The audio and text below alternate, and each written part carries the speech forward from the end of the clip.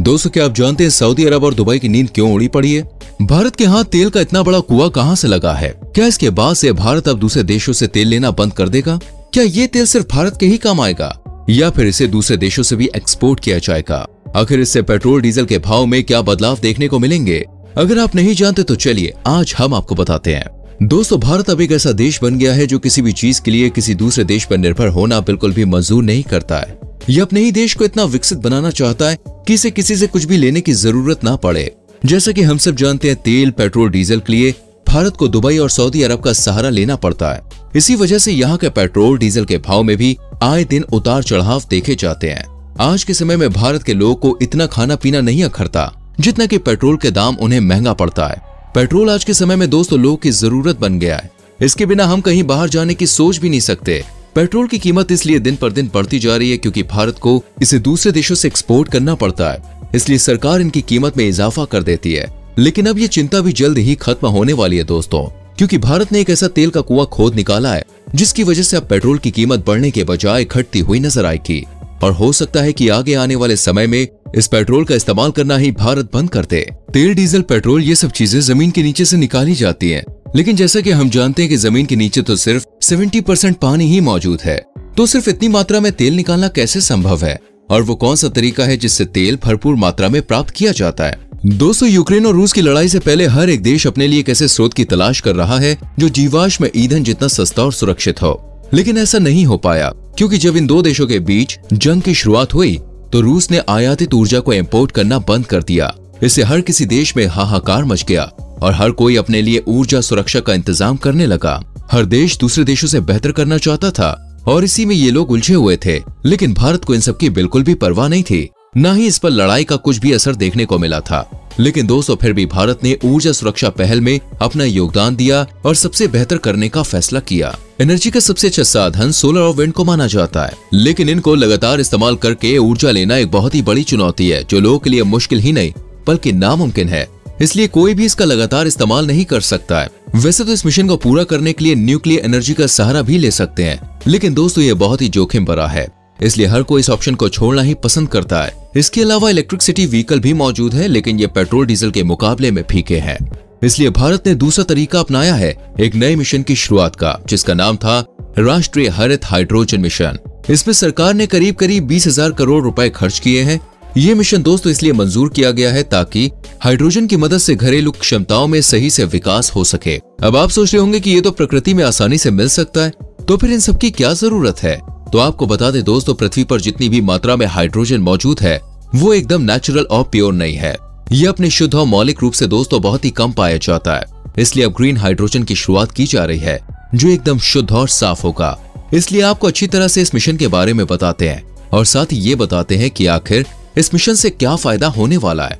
Green hydrogen ये पानी के इलेक्ट्रोलिसिस से मिली वो हाइड्रोजन होती है जिसे बनाने के लिए या तो सोलर एनर्जी का इस्तेमाल किया जाता है या फिर विंड की मदद से इसे बनाया जाता है। इन दोनों से ही हाइड्रोजन प्राप्त होती है। वही प्रति यूनिट के हिसाब से भी दोस्तों हाइड्रोजन में ज़्यादा एनर्जी पाई जाती है। यही वजह है कि इससे एकदम साफ़ और शुद्ध एनर्जी मिलती है। और ये शुद्ध हाइड्रोजन पानी का एक अच्छा रिसोर्स है। इसकी यही खासियत इसे स्टील उत्पादन और ट्रांसपोर्ट फर्टिलाइज़र ऊर्जा गहन उद्योगों में लाभकारी साबित करती है। सिर्फ़ भारत ही नहीं, बल्कि दोस्तों ऐसे बहुत से देश हैं जो इस ग्रीन हाइड्रोजन का सहारा ले रहे हैं, ताकि कार्बन डाइऑक्साइड जैसी हानिकारक गैस से छुटकारा मिल सके, और साथ ही वातावरण में भी कुछ सुधार हो सके, क्योंकि ग्रीन हाइड्रोजन को एक बहुत ही अच्छा रिसोर्स समझा जाता है। ये जीवाश्म ईंधन पर निर्भरता को कम कर देता है, इसलिए हर एक देश इस ग्रीन हाइड्रोजन का ही सहारा लेते हुए नज़र आ रहे हैं। भारत सरकार ने दोस्तों ग्रीन हाइड्रोजन को बढ़ावा देने के लिए उन्नीस करोड़ का बजट बनाया है। इस रकम में से करीब सत्रह हज़ार चार सौ नब्बे करोड़ रुपए उत्पादन से जुड़ी हुई जो भी प्रोत्साहन योजनाएँ उनके लिए और पायलट प्रोजेक्ट्स के लिए एक हज़ार चार सौ छियासठ करोड़ रुपए तय किए गए हैं। वही विकास और अनुसंधान के लिए भी 400 करोड़ रुपए और भी ऐसे ही दोस्तों मिशन के लिए 300 करोड़ रुपए लगाए गए हैं, जिससे भारत एक विकसित देश बन पाए। और यहाँ पर किसी भी चीज़ की कोई परेशानी या कमी देखने को ना मिले, भारत सरकार ग्रीन हाइड्रोजन उत्पादन में इन्वेस्ट करने के लिए भी बहुत सपोर्ट कर रही है। इसके लिए सरकार भले ही कम समय के लिए, लेकिन इलेक्ट्रोलाइजर पर इम्पोर्ट टैक्स भी माफ़ करने का विचार बना रही है, ताकि लोगों को ज़्यादा ऐसी ज़्यादा सपोर्ट मिल सके। सरकार का कहना है कि हमने साल 2030 तक करीब करीब 50 लाख टन ग्रीन हाइड्रोजन को पाने का टारगेट बनाया है, जिससे ज़्यादा ज़्यादा ग्रीन हाइड्रोजन मिल सके। इस मिशन को देखते हुए उन्नीस करोड़ रुपए की परमिशन भी दे दी गई, जिससे इस मिशन को पूरा करने में कोई भी रुकावट ना आए। इस सपोर्ट को देखते हुए वाराणसी और भी पास के बहुत से क्षेत्रों में विकास की किरण जलती हुई नज़र आ रही है।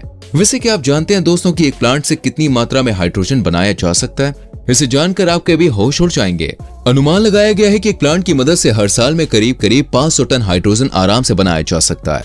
ऐसे बताया गया है कि पूर्वांचल में पायलट प्रोजेक्ट के रूप में और भी बहुत से प्लांट लगाए जा सकते हैं, जिससे यहाँ पर एक प्लांट से एक साल में करीब 500 टन हाइड्रोजन मिल सकता है।